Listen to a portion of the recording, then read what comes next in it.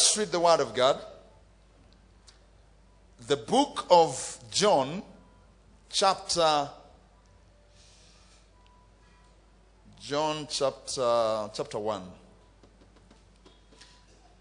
In the beginning was the Word, and the Word was with God, and the Word was God. The same was in the beginning with God. All things were made by Him, and without Him was not anything made that was made. In Him was life, and the life was the light of men, and the light shineth in the darkness, and the darkness comprehended it not. I'm sharing on light. The last time that I stood here to share with us, I was sharing on light. I can prophesy, promise you that the next two weeks are going to be very powerful weeks for you. Praise the Lord. You know, we, we, are, we are living in, uh, in, uh, in a spiritual space called the spiritual space of now. Can you tell your friend now? Hallelujah.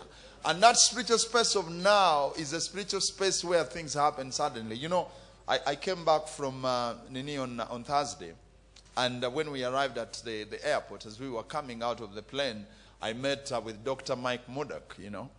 This is somebody I've never met.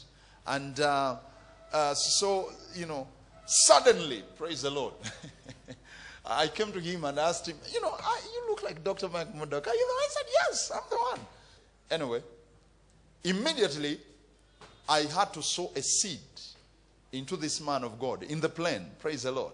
Because you see, when you meet with greatness, you should never miss an opportunity to sow a seed.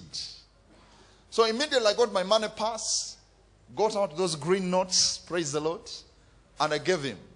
And the man of God was so happy. And he told me, My goodness, Kenya loves me. Even before I leave the plane, I'm getting love offerings. Ah, I love Kenya. This is what Kenya is. And you know, he began to prophesy. He began to prophesy immediately. You know, seeds provoke her. There is nothing that releases a prophecy like seeds. I know you, you don't want to say amen to that. but if you want to know that seeds provoke the prophetic anointing, praise the Lord visit the spiritual space and consult a prophet called Samuel and tell him what happened when Saul appeared in your presence with the seed. Huh? The prophetic waters was tired up. Go and ask our great grandfather, Isaac, when Jacob turned up with that nyamachoma, how the prophetic flow was tied up in him. You know? That, that is the divine principle. You want to see prophetic waters. There are two things that I know that stir up prophetic waters powerful worship and also seeds. So the man began to prophesy. And after prophesying, we came out, you know, with him from the plane. And see the amazing things, some of the things that he began to declare, I began to saw them immediately. Because when we came out, cameras. Because you see, we came out because we had become friends with him. We were the last people to come out of the plane. People, the police came in because they collected him on a, a, a, VIP level. They came into the plane to pick him and he told them, wait. We talked like for 30 minutes. That's what a seed can do. Praise the Lord. That's what a seed can do. You know, at times people tell you they don't have time. Try the seed, they will create time for you. I can tell you. So, so when we are coming out, out of the plane, cameras, people are there waiting for the man of God. And of course, now we are friends. We came out, he was holding me. So everybody thinks I've come with him. Praise the Lord. God can organize platforms for you. I'm sharing on light because the last time I was here, I was sharing with us on the light. And I think it is important for me to just uh, take you back a little while that the light of God is inside of you, of course, in your spiritual man. That's where the glory and the light is, because that is the part of you that came from God. You know, the, the outside form of you is what came from the earth, because uh, uh, uh, you were created from dust. That is where you came from. But the spirit that is inside of you is what came from the inside part of God, because it is the breath of God. So I, I, I, was sharing with people that one of the, the major reason why God loves mankind so much why he will bow down and he came as a beggar and begged mankind to accept his son so that we can be reunited back to him is because of the fact that all the people that you see on earth, 7.5 billion people, carry a certain chunk of God because we came from his heart. So your absence from having a relationship with God means that there is a void that is in the heart of God.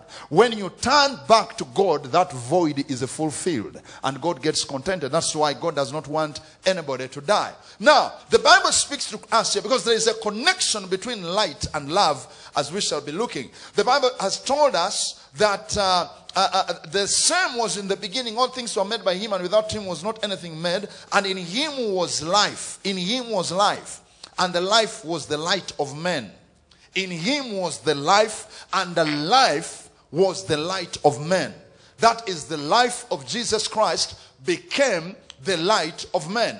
Now, there is a connection between life and light and revelation, and revelation or knowledge.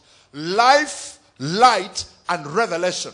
In the kingdom of darkness, it is death, darkness, death, and darkness have a connection and spiritual blindness. Those three things. It is the opposite. In the kingdom of, of, of, God, we have life, light, and what? And revelation. In the kingdom of darkness, we have darkness, death, and blindedness. Now, the Bible says that the life was the light. What life is he talking about? He's talking about the Zoe life because there are two kinds of life. There is the, the bios life, uh, what the Greek called the, the, the sick kind of life. That sick kind of life is the life that originates from things that are happening in your life. You have money, you have a car, you have a good house, your marriage is moving well. It is a temporary kind of life. You hear people saying, I am enjoying life. You've heard people saying that in the world, isn't it? I'm enjoying life. Life is so good, you know, because they have money, they have good cars, they have a good job. You know, things are moving well. That is the lowest form of life.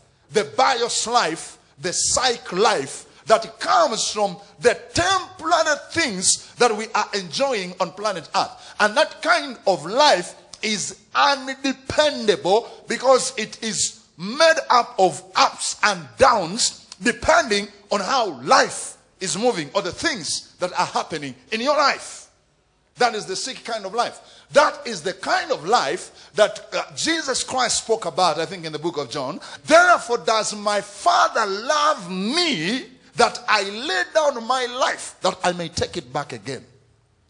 Which, uh, what he was saying is this for you to be able to tap and enjoy the Zoe life, you must lay down the bios life.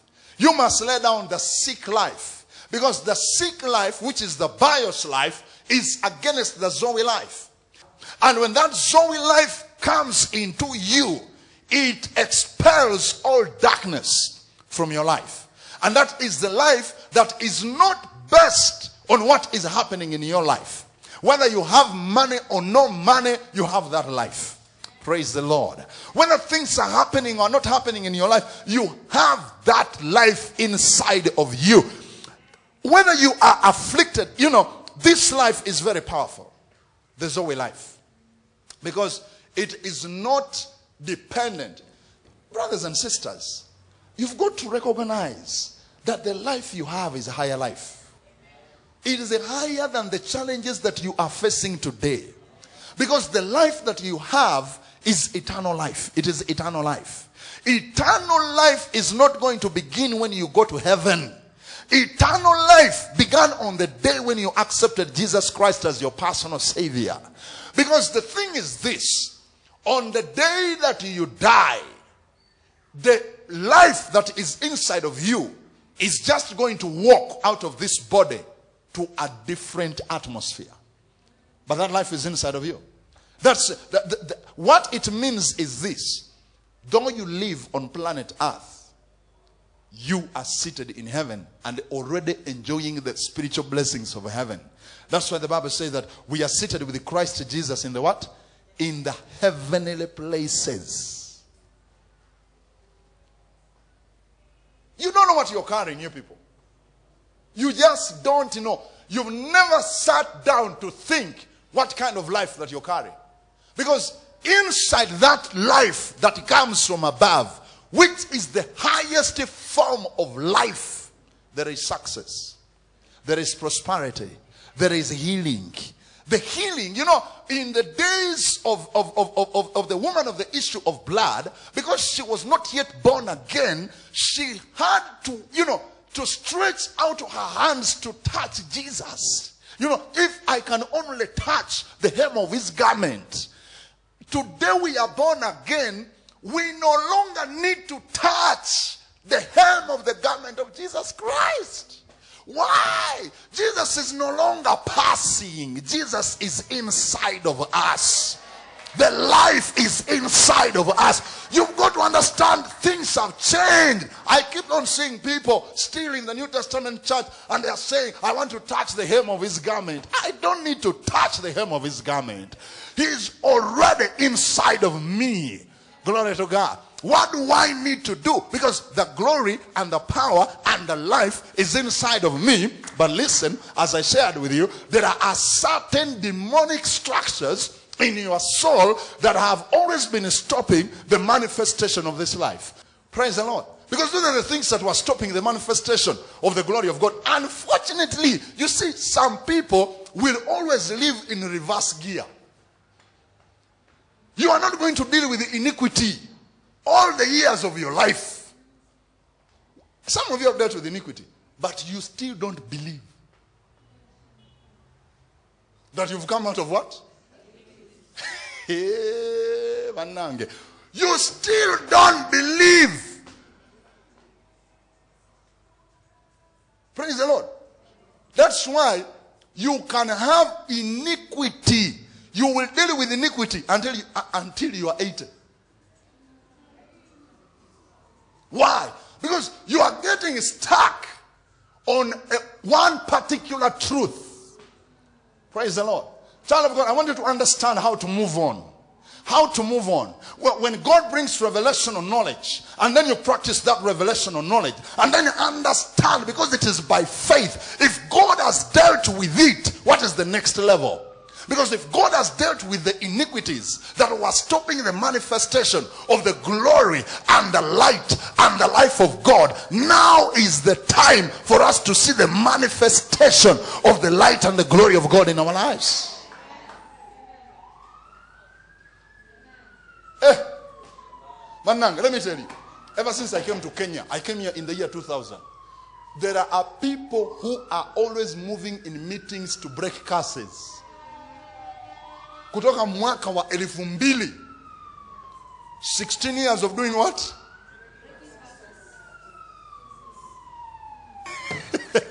ni nini laana gani hizi Sometimes, you know, you are, you are, you are, you are, you are, telling, you are, you are saying the devil, the devil, the devil, and even the devil is telling God, God, sincerely, you know, those people chased me away. I'm not doing anything to them. Come on, tell your neighbor after deliverance, you need to change your mind. You need to change your mind. Listen, I, I was in Kampala. To, I went to attend Benny Hinn. Benin came to Uganda in 2000, maybe 2008. I can't remember. And then uh, what, what, what happened was this. I, I really lo- I love Benny Hinn so much. So when we came out of the meeting, I met, I met another gentleman. And I told him, what is wrong with you? Why? How could you miss such a meeting? Some of us have come all the way from Nairobi. Creflo Dollar was coming three weeks after Benny Hinn. And he said, ah, I don't need to come for Benny Hinn. Because the Holy Spirit and the presence, I'm okay, I'm prayerful. My problem, I am poor. so instead of getting my offs to come for Benny Hinn, because there, Ninaona, I have achieved something. Because I know Benny Hinn is going to bring me to the atmosphere of the presence. It's going to be teaching me about the presence. But I know concerning the presence, at least what I know is, is, is enough for me. I'm not so high, but it is enough to take me. But concerning money, I am so badly off. And the man who, I know Benny Hinn is not going to talk about money. The man who is going to deliver me from that one is a Creflo dollar. Oh, so I said, anyway, people understand what they need. Do you know what you need? So, this, you know, you've got to begin declaring that iniquity has died completely in your life. You are now iniquity what? Iniquity free. Now, if I am iniquity free, what am I expecting to see? I want to see the what?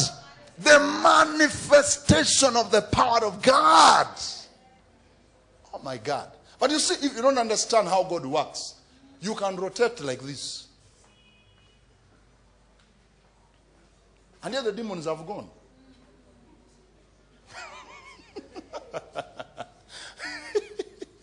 you are like, you know, I, I, think I told you this testimony about the chicken I, I used to get from Uganda, from my village. You know, those chicken from my village. I, I used, my mother used to give me a lot of chicken, and I would tie them with banana fiber. And when we leave the village, immediately they would begin to fight. But they are tied. They fight. They are tied. They fight. Ah, then they know tumefungwa. Hakuna cha kufanya. So they keep quiet. They submit. And that's how many people submit to the devil. Hallelujah. Unapiga, I break it, I break it, I break it, I break it, I break it, I break it. Things are not changing. Tomorrow I break it, I break it. They're not changing. I say, ah, anyway, this thing. now listen, when I bring the chicken here, of course we remove them from the car. And I hadn't observed that. And tied the banana fibers and left the chicken. Hallelujah. The chicken continues staying like this. So after some time, I went to the bank. Is the chicken? What's wrong? So I kicked one of them. It realized it can run. It was so happy. I said, You chicken. you have been free for a long time. But the banana fibers have deceived your mind. You are bound forever. Some of you, mumewachiliwa kitambo. Iniquity has died. Lakini, you still think. Fundi kwa.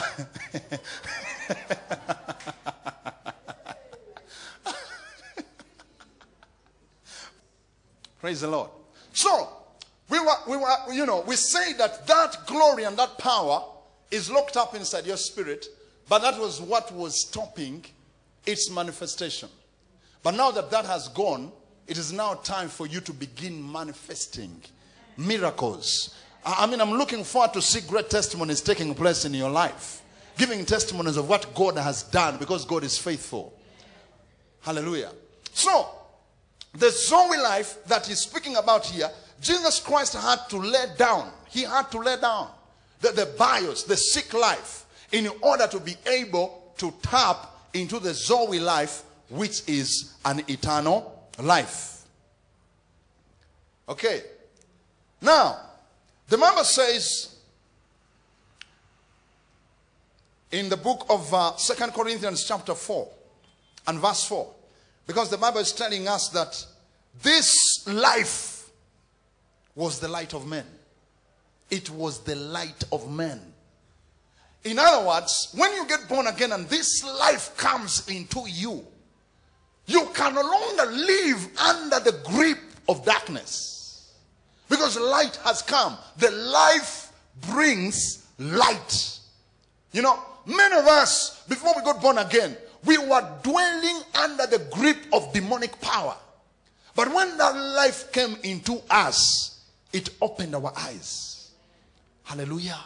You remember when you were not born again, how you used to look at impossibilities. And you know, I I will never forget uh, uh, every time I used to take my sister I had my sister who used to go and see the husband in Saudi Arabia after every three months. And every time I went to the airport, I would ask her, Do you really think I will ever enter a plane?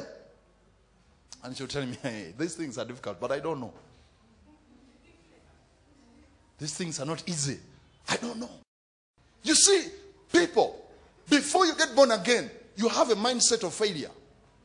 You have a mindset of impossibility. You have a mindset, you know, if I'm not connected to this politician, I cannot make it.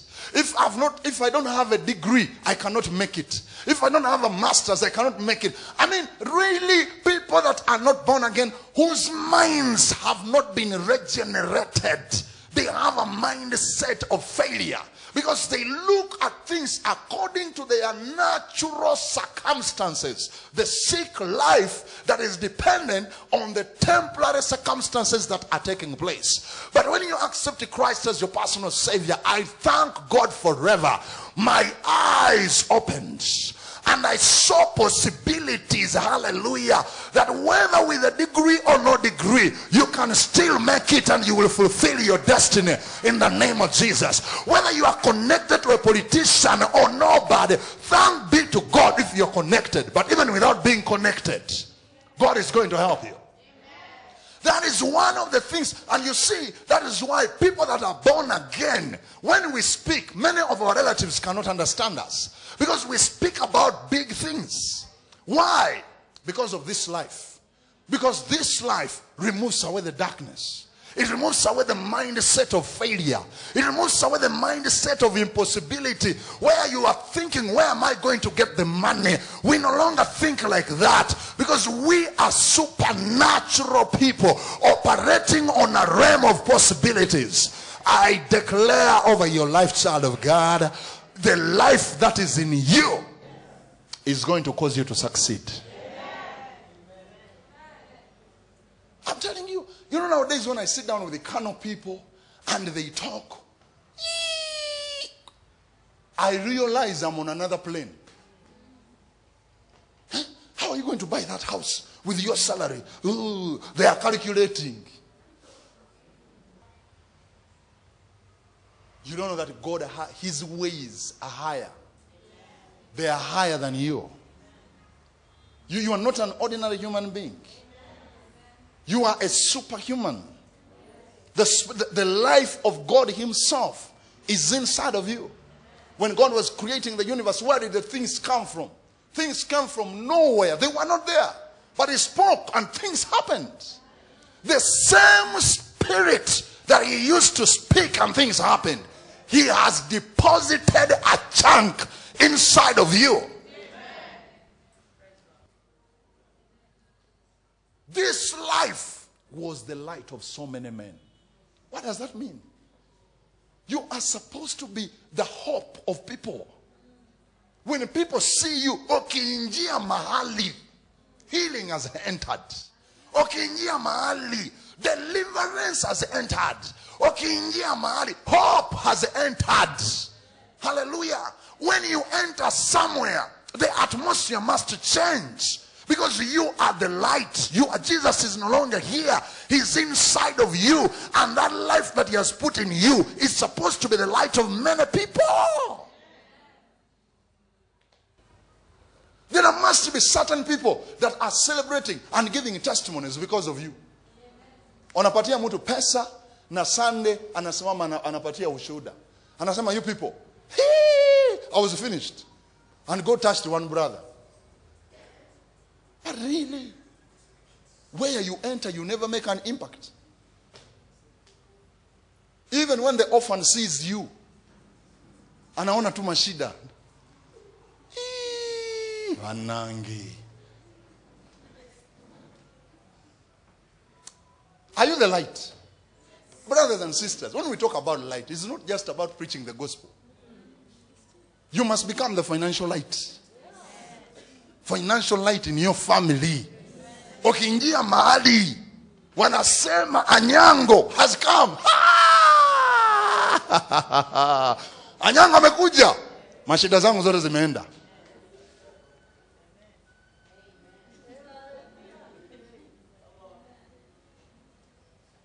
Lakini wewe unafika mahali you bring more trouble.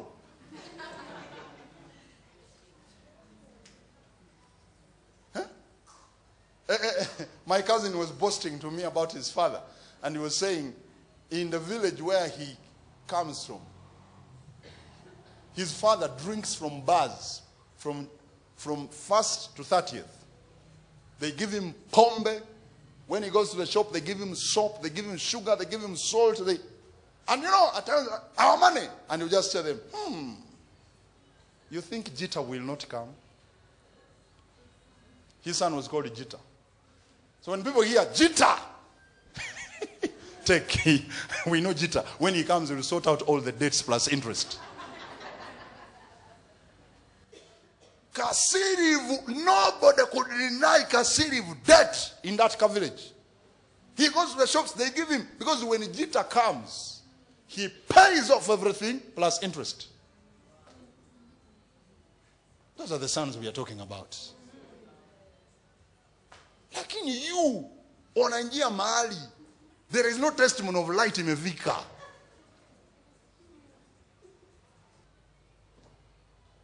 Are you the light? Really? Are you impacting people? Oh, unawacha watu wakilia. Sema nani alikuwa hapa? Broke my heart. Aliiba pesa zangu. Borrowed my money and never paid back. Are you that kind of person?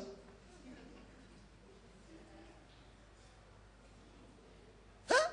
This life was the light of men. Please ask yourself a question. I always tell preachers if you go to a place to preach and they don't invite you back, there is a problem. Can you go and they don't invite you back? And then you keep on calling. When am I coming back?